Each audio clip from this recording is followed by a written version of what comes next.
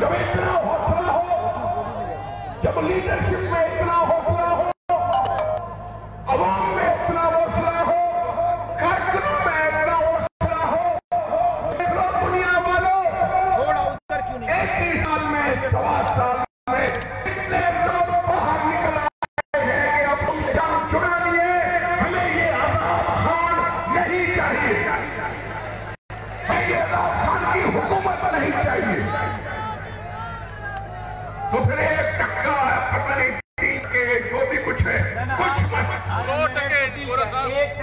ٹکے کے سونیا جی بول دو اب ٹکا نہیں چاہیے نہ نیاسی چاہیے نہ ٹکا چاہیے ہمیں اپنا ملک چاہیے اپنے لوگ چاہیے اپنے غریب عوام چاہیے وہ مزدور چاہیے کسان چاہیے وہ بے روزگار چاہیے جنہوں نے سندھ کو یا اس ملک کو چومنا قبول کیا ہے چاہے کتنی بھی محرومیاں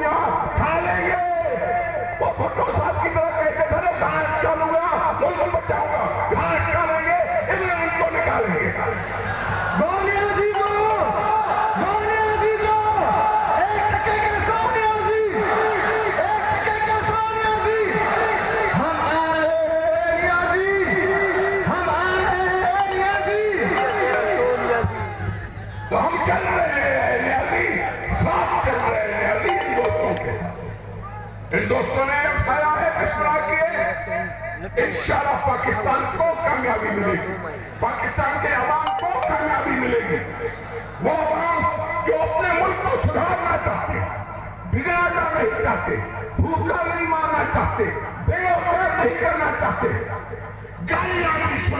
نہیں چاہتے یہ جو گالیوں کی سیاست ہے بہت ہو گیا تمہیں دیکھ لیا کہ بائیس سال میں تم کیا کرتے رہے اب ہمارا فیصلہ اب عوام کا فیصلہ یہ سلیکٹڈ کا فیصلہ نہیں یہ تم مینارٹی حکومت ہو تمہیں نہیں دیا تھا عوام نے مینڈیٹ تمہیں نہیں دیا تھا اکثریت تمہیں بنا کے دے دی گئی تھی اگر دے دی گئی ہے تو پھر عوام کے ساتھ مل کر ہم بھی اپنی اکثریت بنا سکتے ہیں۔ اس لیے مولانا صاحب آپ کا شکر گزار کہ آپ نکلے ہیں۔ ہم آپ کے ساتھ ہیں۔ آئندہ یہ پہلی مل دوسری مل تیسری مل تب تک جیل سے نہیں لگے۔ جب تک نیازی سے چھٹکارا نہیں حاصل کریں گے۔ بہت شکریہ۔ بہت بہت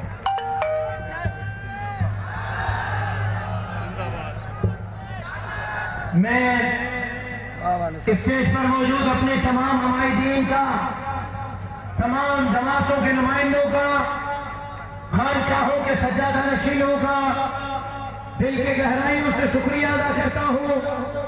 ہمارے جمعیت علماء اسلام کے سینیٹر طلحہ محمود صاحب اسٹیج پر ہیں، خواجہ مدثر صاحب بھی اسٹیج پر ہیں، اور بھی بہت سارے زعما اسٹیج پر ہیں۔ ان کا بھی شکریہ ادا کرتا ہوں۔ یہاں آگے فرنٹ ہے جمعیت کے ساتھیوں سے درخواست ہے کہ فرنٹ سے پیچھے چلے جائیں۔ جمعیت کا کوئی بھی عہدیدار فرنٹ والی لائن پہ نہ رہے پیچھے چلے جائیں۔ مولانا سارے ساتھی۔ جمعیت کے تمام ساتھی لائن میں چلے جائیں۔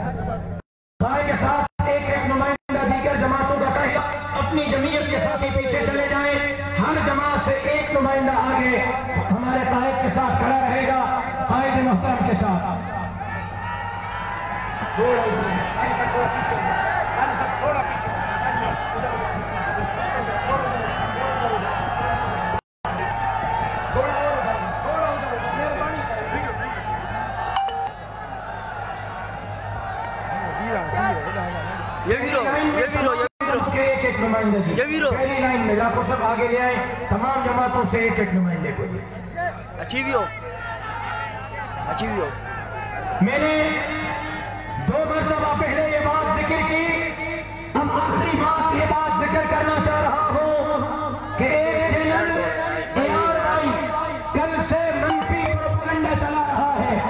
ہمیں اے آر وائی کی نہ مثبت پروپگنڈے نہ مثبت رپورٹنگ کی ضرورت ہے۔ نہ منفی رپورٹنگ کی ضرورت ہے۔ کل سے کہہ رہا ہے، مدرسے کے طلبہ ہیں، ذرا سفید بالوں والے۔ جن کا اچھا والے حکمت کھڑو، صرف سفید بالوں والے، صرف سفید بالوں والے۔ صرف سفید بالوں والے ہاتھ ہلائیں ذرا۔ مجھے بتائیں، یہ مدرسے کے طلبہ ہیں۔ ہاتھ نیچے کریں ذرا۔ جو کلین شیو ہیں، داڑھی نہیں ہے، وہ ذرا ہاتھ کھڑا کریں کلین شیو جن کو داڑھی نہیں ہے وہ ہاتھ کھڑا کریں ذرا بتائیں یہ مدرسے کے طلبہ ہیں ذرا ہاتھ نیچے کریں جو حالی ہے، مزدور ہے، محنت کش ہے، دکاندار ہے، وہ ہاتھ کھڑا کریں۔ جو شعبہ ہے، مختلف شعبہ ہے، مسجد مدرسہ سے تعلق نہیں، اپنی کھیتی باڑی کرتا ہے، ٹیلا چلاتا ہے، مزدوری کرتا ہے، وہ ہاتھ کھڑا کرے ہاتھ ہلائیں ذرا، ہاتھ ہلائیں ذرا۔ یہ دیکھیں، یہ مدرسے کے طلبہ ہے اب ہاتھ نیچے کریں۔ ہاں ہم ہی تو بارش ہیں۔ ذرا مسجد اور مدرسے والے بھی ہاتھ کھڑا کر دیں۔ ذرا مسجد اور مدرسے۔ گھبرا نہیں۔ مسجد اور مدرسے والے اسلام آباد آ رہے ہیں۔ اور مولانا فضل الرحمان کے امامت میں عمران خان کے قدار کا جنازہ پڑھیں گے انشاءاللہ۔ انشاءاللہ کی آماد مجاہدین کی طرح چاہیے۔ مولانا کا خطاب ہوگا۔ اس کے بعد میں نے دعویٰ کیا ہے۔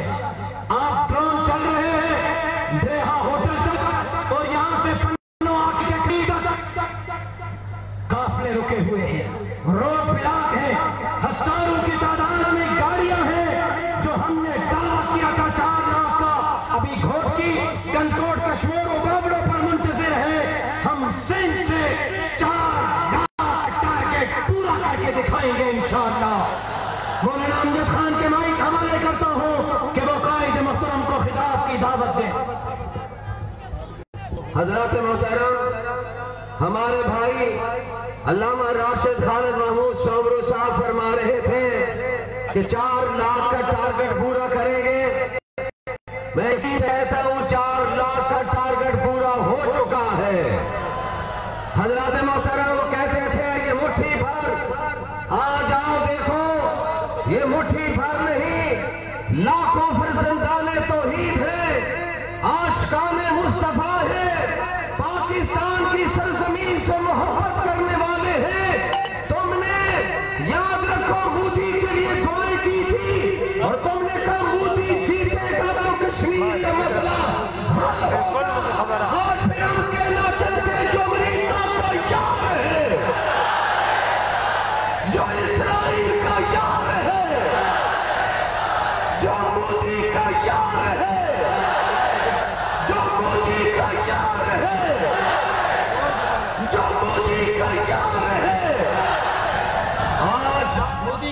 پر لانت کا بھی نعرہ ہونا چاہیے۔ مودی کے یار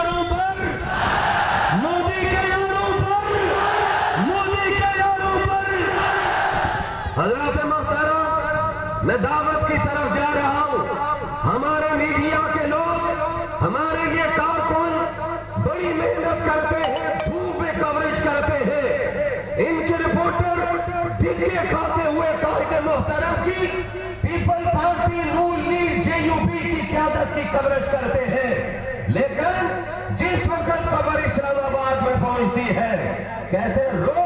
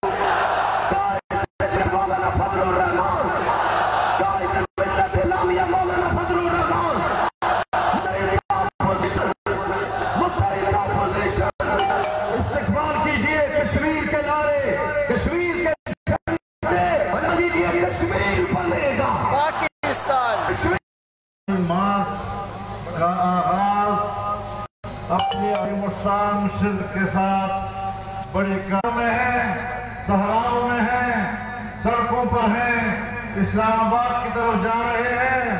دنیا کو بھی پیغام پہنچانے کے لیے کہ موجودہ جابر اور ناجائز حکومت یہ پاکستان کے عوام کی نمائندہ حکومت نہیں ہے۔ جبر جبر کی بنیاد پر عوام پر حکومت نہیں کی جا سکتی۔ جناب رسول اللہ صلی اللہ علیہ وسلم کا ارشاد ہے۔ ستت لعنتهم ولعنهم اللہ وکل نبی مجاب. اور ان چھ لوگوں میں ایک وہ ہے المتسلط بالجبروت.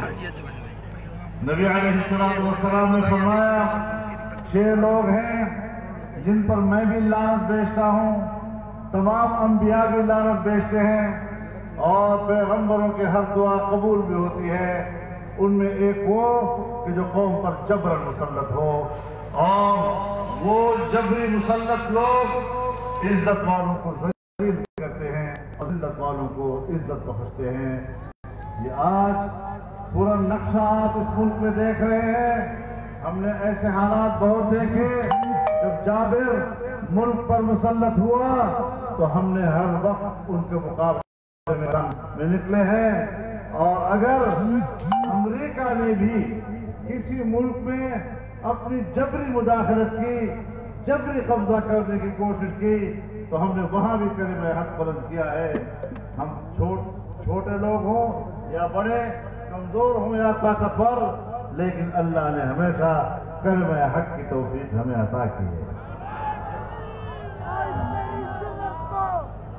میرے محترم دوستو آج تمام سیاسی جماعتیں آج پاکستان کے ہر شعبے زندگی سے وابستہ تنظیمیں اور اس تنظیموں کے ساتھ وابستہ لوگ، چاہے وہ کسان ہیں، چاہے وہ مزدور ہے چاہے وہ تاجر ہے چاہے وہ چھاوڑی والا ہے، چاہے وہ چھوٹا دکاندار ہے، چاہے وہ وکیل ہے، چاہے وہ صحافی ہے ہر شخص اس وقت پاکستان میں جبر محسوس کر رہا ہے۔ معیشت تباہ ہو چکی ہے۔ معیشت کی کشتی ڈوب رہی ہے۔ یہ ملک کے لیے رسک بن چکے ہیں۔ لوگوں پاکستان کے لوگوں پاکستان کے عوام سے کہنا چاہتا ہوں کہ آپ کے ناجائز حکمران پاکستان کی کشتی کو ڈوبے آپ نے خود اپنی کشتی کو بچانا ہے۔ عوام نے بچانا ہے۔ اگر ایک ناجائز حکومت قوم پر مسلط ہوئی تو ہم کسی اور طرف نہیں گئے، ہم عوام کی طرف گئے ہیں۔ عوام کے پاس جا کر ہم نے گزشتہ نو مہینوں میں پندرہ ملین مارچ کی ہے۔ آج عوام کی اس شراکت کی بنیاد پر ہم اس قابل ہیں۔ کہ اسلام آباد کی طرف آزادی مات کریں اور ان ظالموں سے قوم کو اور ملک کو نجات دلائیں۔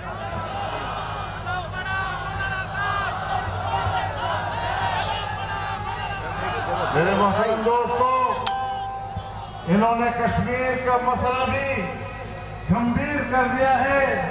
کس منہ سے کشمیر کی بات کرتے ہیں؟ کشمیر پر مگرمچھ کے آنسو مت بہاؤ۔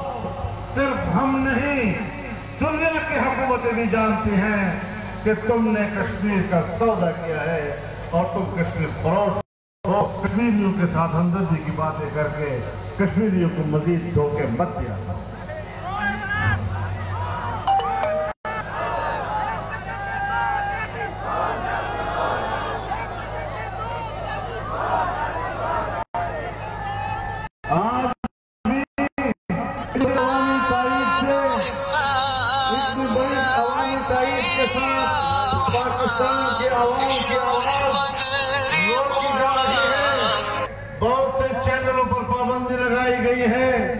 کہ وہ ہماری نے تصویر دکھائیں، نہ ہماری آواز لوگوں کو سنائیں۔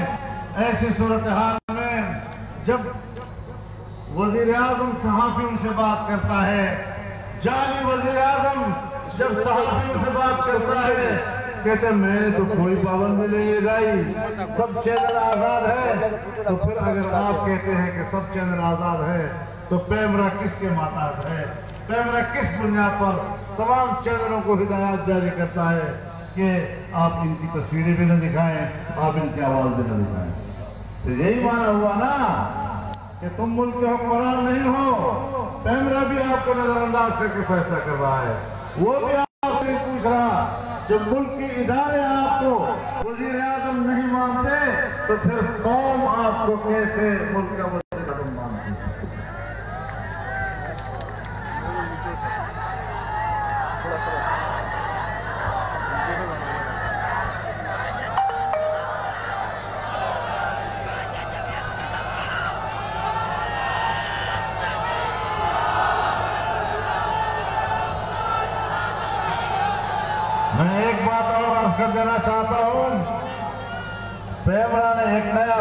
جاری کیا ہے۔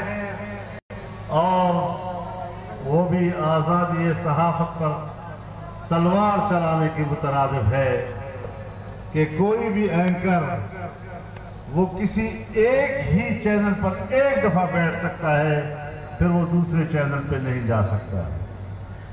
ہمارے اوپر تو پابندیاں تھی ہی۔ اب سینئر صحافیوں پر بھی پابندیاں لگ گئی ہیں۔ اب یہ مسئلہ صحافیوں کا بھی ہے اینکرز کا بھی ہے سینئر صحافوں کا بھی ہے اور ان تمام میڈیا کے مالکان کا بھی ہے۔ میں مالکان سے بھی کہنا چاہتا ہوں، میں اینکر سے بھی کہنا چاہتا ہوں، میں سینئر صحافی سے بھی کہنا چاہتا ہوں کہ آپ اس اینٹ کا جواب پتھر سے دیں، بھرپور احتجاج کریں اور ہمارا ملین مارچ آپ کے لیے حاضر ہے۔ آپ اس کا حصہ بن کر اپنے اس قدرن کے خلاف احتجاج کا حصہ بن گئے۔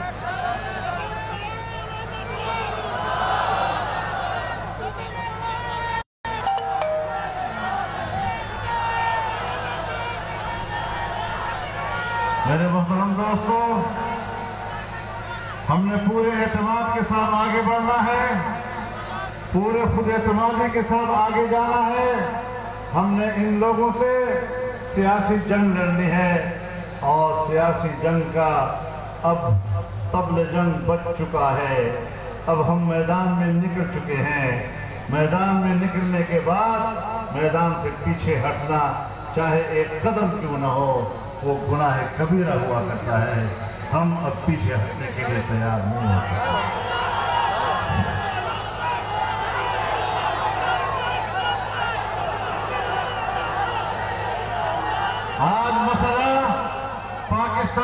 بقا کا مسئلہ ہے۔ جب معیشت ڈوب جاتی ہے تو ریاستیں اپنا وجود ختم کر دیتی ہیں۔ آج ان لوگوں کی وجہ سے پاکستان کے وجود کو خطرہ ہے۔ پاکستان کے آئین کو خطرہ ہے۔ آئین پاکستان کو ایک دیباچہ بنا دیا گیا ہے۔ بچوں کا کھیل بنا دیا گیا ہے۔ ہم ملک میں جمہوریت کو مستحکم کرنا چاہتے ہیں۔ عوام کی بیداری چاہیے اس مقصد کے لیے۔ اور آئین کو بچانا ہے، جمہوریت کو بچانا ہے، اسلام کو بچانا ہے، سفر نبوت کی عقیدے کو بچانا ہے، ناموس رسالت کو بچانا ہے، معیشت کو بچانا ہے۔ اور اور متاثرہ متاثرہ عوام کو بچانا ہے تو پھر نکلو اور یہ حق کا نام مت لو۔ اور آخری منظر پاک ہی آپ اور ہم دم لیں گے۔ انشاءاللہ۔ نعرہ